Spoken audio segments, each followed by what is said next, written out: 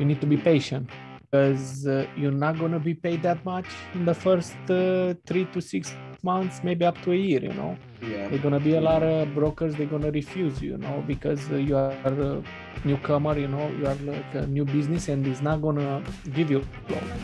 Yeah, hire somebody, hire a dispatch, hire somebody to help you. You know, if you want to go fast, because the way I was doing, I was doing the hard way. I was dispatching, I was looking, I was, you know, depends what what is your mindset jerry you know. Okay. if you want to grow fast not like in 10 years you want to grow in five years you want to get a hundred trucks already but everybody has their own goals. Then you need somebody to help you know. Somebody but the difference in in money it's very high you know let's say from two dollar to three dollar or something like that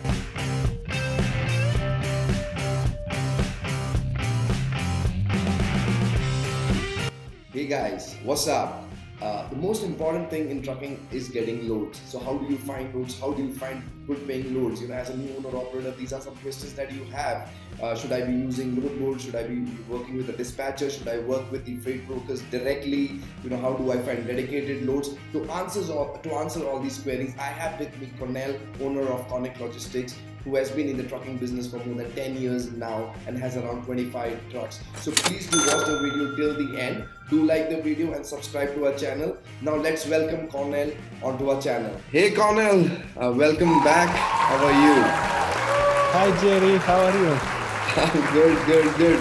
So you know we, uh, uh, you know, Conic Logistics has grown from uh, one truck now to 25 trucks over the period of last seven to eight years, and you started as a driver first, and then became an owner operator, and now you run this logistics company, and you plan to take it from 25 to 100 trucks. So I guess one of the most important thing is loads, right?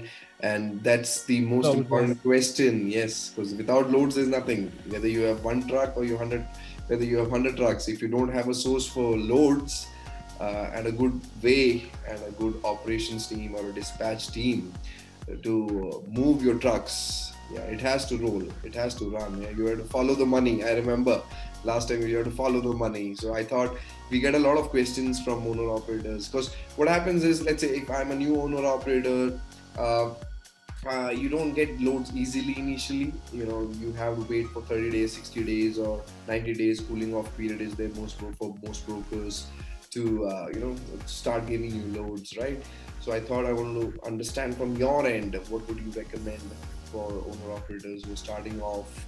You know how how should they go about uh, the loads, how to find loads and all.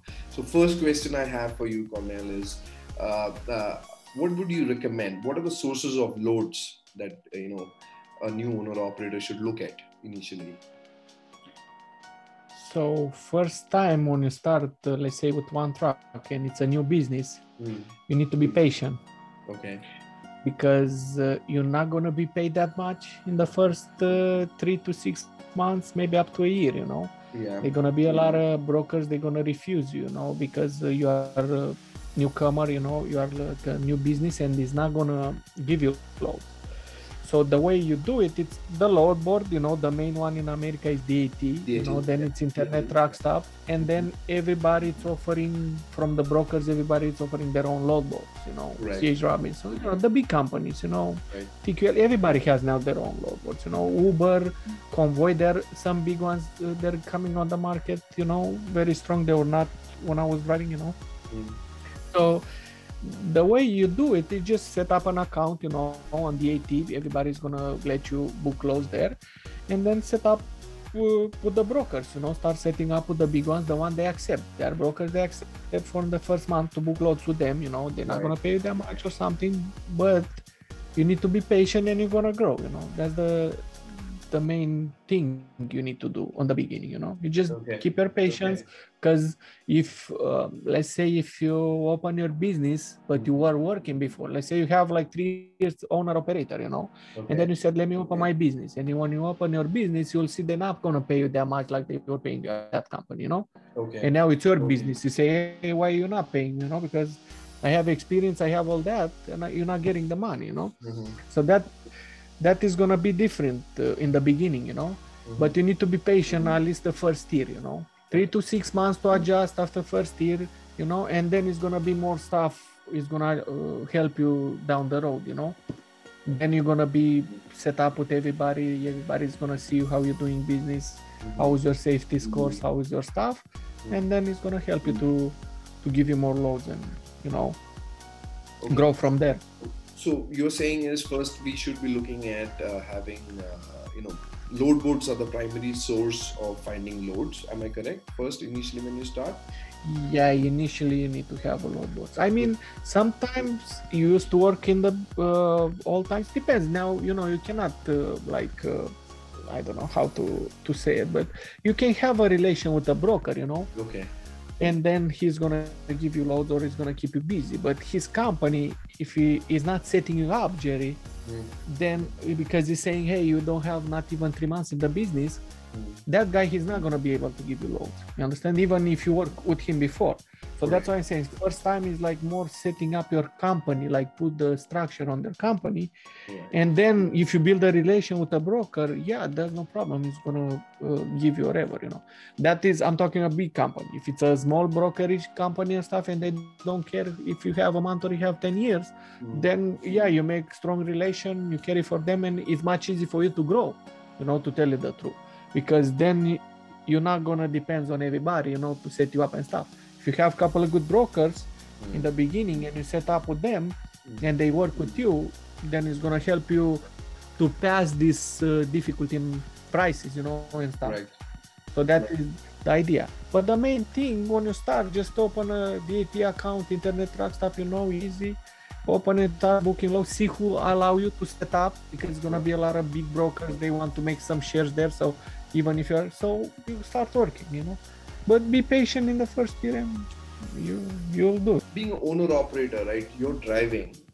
And you know i've done dispatch so we do dispatch. So it's not so easy to uh, you know drive and find loads because not necessarily what you see there matches your criteria right? You need to maybe look at call up multiple brokers and talk to multiple brokers to even to get a load. Because on the first attempt when you're a new uh, uh, authority or a new mc number guy right it's very difficult uh, you know you don't even know whether that the uh, the broker accepts your authority. Only when you call or call to speak to him you find out. So uh, you know it's very difficult to drive and to do this. So would you recommend uh, to hire a dispatcher uh, initially to do this or do it yourself what do you recommend Uh, to tell you the truth, is not it's not like you cannot recommend something, mm-hmm. Jerry. Mhm. You can say, yeah, recommend the dispatch to help. It's gonna be much easy for you, right? right That's the most. That's the the first thing easy is coming to you. Right, If you don't know what you're doing or you, you don't think you are inclined to do something like that, right. yeah, hire somebody. Hire a dispatch. Hire somebody to help you. You know, if you mm-hmm. want to go fast, because the way I was doing, I was doing the hard way. I was dispatching. I was looking. I was, you know, mm-hmm. depends what what is your mindset, Jerry. You know, okay. if you want to grow fast, not like in 10 years, you want to grow in five years, you want to get a hundred trucks already. But everybody has their own goals. Mm-hmm. Then you need somebody to help you. You need Okay. somebody to help you all the time. So you need help if you want to do it fast, or you want to reach your goal faster than you know. If you want to take it slower stuff, doesn't matter if uh, you know if you book it yourself, you set up, but it's harder. You know, Mhm. it's harder. Mhm. If you want to concentrate on taking your sleep, do your stuff for the truck driver, you better hire somebody, you know, to help you with the dispatch. You know. Yeah. Yeah. Because if you want to make money, if you want to to grow, to to do it faster, you know, to to get you, you know, to not worry about it. You know, you, Yeah, you just yeah. call somebody. Hey, I'm driving. I'm doing the money. I, you know, Mhm. you call somebody to help you. You know, Correct. I'm just uh, that was my experience. You know, that's how I started because I didn't know nobody. I didn't know that time was not like now. You know, everybody. Are dispatches company, a lot of them. You know Correct. they recommend that they help you that back there was not and i'm not that new think about it the older times before me Yeah. how hard it was you know to find something you know and right now there are a lot of dispatch companies they can help you that to that to that you don't need to worry and run the business easy you know Correct. for a call so Correct. So, uh, well, you know, I, I, so initially it is difficult, as you said, you know, because you need to set up with brokers. That's where the time con- Yeah. consumption happens. And that's where you might need your, you can do yourself or use the help of a dispatcher because a lot of brokers initially you need to set up and you know the next time once you start booking loads with them, it becomes easy because you're already set up with them. Your you know carrier packet is already set with them. You just need to book the loads and negotiate on the rates, etc. Right? And so, uh, so another thing I wanted to ask is like over a period of time, right? Once you've started booking loads, right? Like in your scenario, now you've been in the business for like close yeah. to seven to ten years now. So uh, now, uh, do you completely depend on uh, load boards, or uh, you know, you have brokers who are giving you loads directly? You have a dedicated lane. How how does it work now for you? Mm, um I used to have like brokers and dedicated lanes, mm-hmm. like uh, to do it, and then you know, in 2014, 15 was kind of shaky the economy or different kind of stuff, and they broke the relation, and now they're coming back, you know. Okay. But usually, all the time okay. in the business, you're gonna have some brokers dedicated for you, you know. It's right. just you are set up with them they know you just tell them hey i have the trucks there i have two three trucks there they're gonna come next week or something i have three loads for you they're gonna give it to you you know they have that route mm-hmm. dedicated all year so they're gonna give it to you you know? So this is coming with the experience you know? You right. can make more relation i have a lot of friends they're doing more connection with them or like they keep them busy all year round or like example if you do a connection with amazon like how amazon is doing you just give him your truck and they spinning around you want you know? They you just need to have a good truck so it depends what kind of broker you choose and how you do it I'm just keeping the main one. Two, I have relation with the main one in one side of, uh, let's say, of American different sides. Mm. So when I go there, I know I'm gonna get a load. You know, I don't need to negotiate on the board or something like that. You know, because they just know me. I emailed them and I said I have two trucks there. They're gonna come. Mm-hmm. Uh, you have the load or wherever you have it in which day, and we lo- we good to go. We understand the rate, or sometime we have already the rate because we know each other how we're gonna do it. You know. So this is coming more like right. with experience and relation, you know. Mm-hmm. but so, sorry, the main thing is uh, I'm doing it. Uh, I call Jerry on the load board, you know, mm-hmm. because it was a gap in 2014-15. Sorry, Jerry, was a gap, and then they break the relation. They were not paying. You know, the okay. the shipper was not doing the transportation. The you know? But now it's coming back i see you know? Now it's, it's getting stable. For how long i don't know but okay. Yeah. Yeah. So now the brokers are actually you know coming back to before how it was 2015 and you know they're ready to give you the same rates and the lanes and you know uh, become, yeah. they're, they're being more consistent i believe. Yeah they, they are more consistent. Yeah they are consistent yeah. right Okay. So right now nobody's complaining in trucking business. You know everything is consistent. You know mm-hmm. everybody's paying everybody. It doesn't mean you're getting a lot paid or somebody's consistent. You know the rates are consistent and the, the average loads is is good right now. You know nobody's complaining about it. Right. You know so yeah, it's not it's no struggle right now on the market. You know so yeah. So now you you know you see you have 25 trucks that means average you have to book at least loads for 15 trucks a day right so uh, yeah. it, it's not easy so and most of your trucks I, uh, I believe are doing long hauls running across the country right so yeah. i remember last time you told me follow the money you know you don't yeah. follow the money you can't be particular because if you follow the money you make more money correct and exactly. Uh, yeah so uh, uh, so I believe uh, so. What I've seen is, and uh, uh, you will be getting now with the change in market. Uh, once you start taking up load from brokers, and they they they will you know soon start emailing you their load separately. You know you don't have to go to the load, yeah. right? So and you can fix up the loads. And so one thing important is when you book a load, right? When you book a load, what do you look at? Up, you know, you're going somewhere, you're getting there. So you know uh, how do you decide to take the person to that location? Because there's a backhaul involved right? Whether to bring him back or in general like you know how do you you know send a person or your truck to a particular location? Yeah uh, I, uh, when you pick up a load let's say jerry from uh, a location to a different location first to look at the route how much is paying let's say yeah. he's paying good the owner it's okay everybody it's fine you know to go that way you're gonna look from that location to see how is the market you know you right. need to look to see hey how, how, how i'm gonna take it out of there because in any location only when the market is down or is bad you're not gonna have a choice but sometimes you have a choice that's why i'm talking about the money because if you are flexible if you go in the location but then you limit yourself you said no i want to go only this direction or that direction you know. But I don't want to go, let's say, somewhere where it's paying. You know, you, you want to go somewhere else, then you losing the trail of the money, you know. Because if you're going somewhere is paid, and then I give you another option somewhere else where is paid, you know, but you limit yourself. You're saying, no, I'm not going there because it's not. uh, It's not where I'm going. Let's say, you know, I don't want to go Denver. You, let's say, an example, you know, because uh, I don't like to go Denver. I like to only Texas or something, you know Right. But the difference in in money it's very high you know let's say from two dollar to three dollar or something like that Right. then if you follow the money that's what i'm saying follow the money because if you go in that direction Mm. the, you're gonna make money you know you are flexible you know you not limit yourself when you limit yourself that is the problem you're not making the money you need to make you know You have to be open-minded is- where you plan to go, right? You have to be open-minded, and you need yeah that's why i'm saying when you're talking with an experienced uh, driver you know Right. like uh, owner Right. they're gonna go wherever you tell them to go because they're gonna know to make the money you know right. they're gonna Right. know if you follow them they make the money and they some of them they already see the the market you know i give them access to see the market and different load boards so they they understand you know sometimes they understand. They tell they tell me hey it's paying good there. I'm gonna go there you know. Mm. so you try to to communicate this to the to the drivers you know the owners to see hey i'm going the way i'm doing that and i'm making money you know. It's not like uh, before if you limited somewhere i'm going only here here here you know then you expect to make money or to make uh, you know Mm. only if if it's okay with you you know because i'm not pushing my owners to go whatever Right.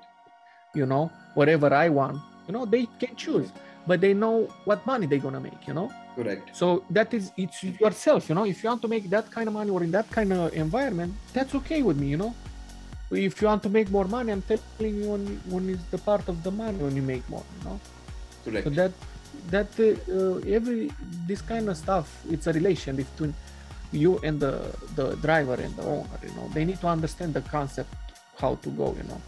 Because uh, le- let's say if you want to go home you know you are somewhere in new jersey or you want to go to chicago. Right now it's paying good.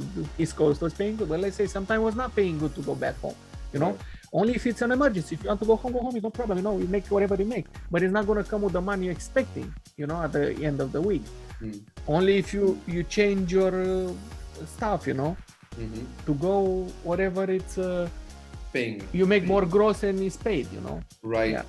So when you book a Yeah. load, uh, Cornel, so when you book a load, do you also uh, search for the back backhauls, like, uh, or to some other when you do the load? yeah yeah always always you search the back you just post it you know Uh, you just post it only if it's paid too much uh, because right now if it's paid from three dollar and up the drivers say yeah, i will take it i will see there what's gonna happen you know because Okay. it's paying so good right. and then you look there and now the market if you're getting at a two dollar uh, that area they're gonna be happy you know if you so that's what i'm saying it's uh, depends how much you're going you know in that area and how much is the market you know Correct. but So always roughly- yeah So roughly per day, uh, just uh, just uh, uh, it's Yeah. to the same topic.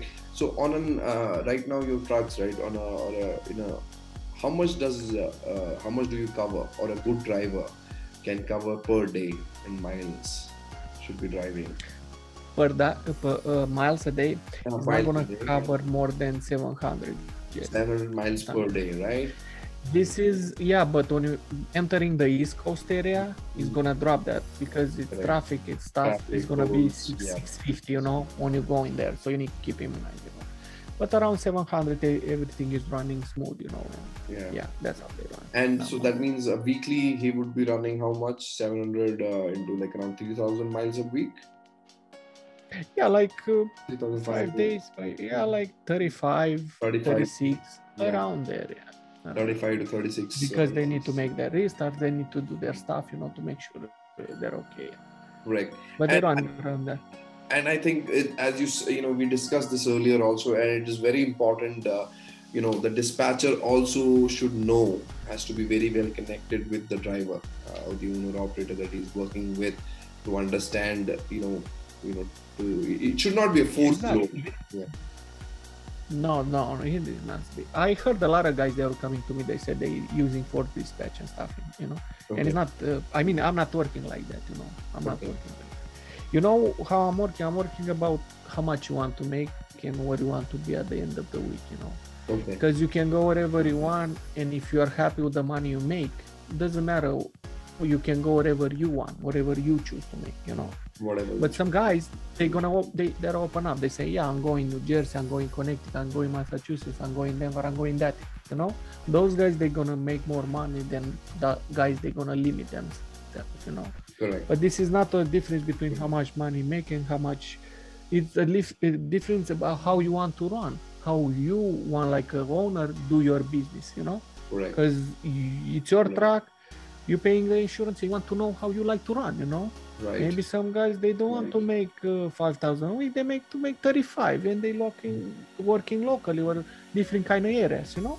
So that is not a base to say hey you need to run 5000 or you need to you know so everyone decides and you need to understand them what they want you know? When you hire them you need to run a couple of times and the dispatcher needs to understand you know? That's why i explain my dispatcher now because a lot of companies they don't do that. They just want to run they give him they don't ask him where they want to go they don't communicate to them you know?